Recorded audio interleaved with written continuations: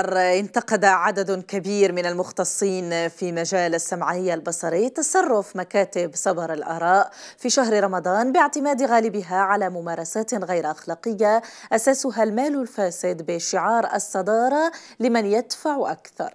نتابع هذا التقرير.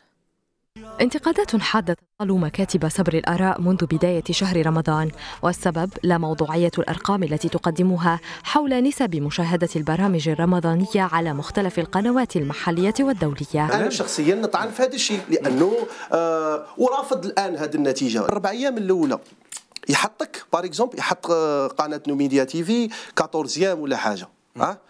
ومن بعد تشوف la progression هكا هي مور الربع أيام يحطك الثامن ولا التاسع ولا حاجة. موراها qu'est-ce qu'il fait يديرك huitième ولا neuvième بصح في الثلاث أيام الاولى صاي يتصفى اللعب.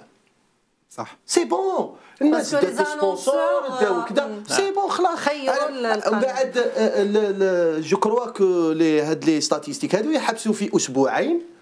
أمثلة كثيرة عرت حقيقة عمل مكاتب الدراسات المختصة في نسب المشاهدة أكثرها إثارة للغرابة سلسلة رمضان في الأمريكان الذي يبث على شاشة ميديا.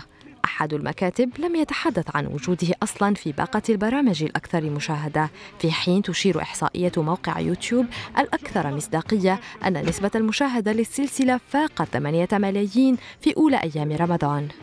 كي حاجة لو تبعوا غير ربع أيام الأولى.